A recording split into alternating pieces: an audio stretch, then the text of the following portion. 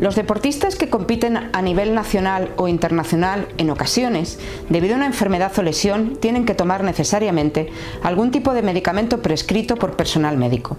En estos medicamentos pueden aparecer sustancias que están prohibidas en la lista de sustancias y métodos prohibidos en el deporte.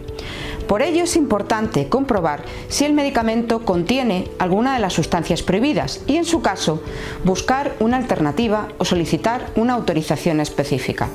CELAD ofrece una aplicación NoDop App y web NoDop Web gratuitas para poder consultar y obtener información actualizada de la composición y posibles incidencias sobre el deporte.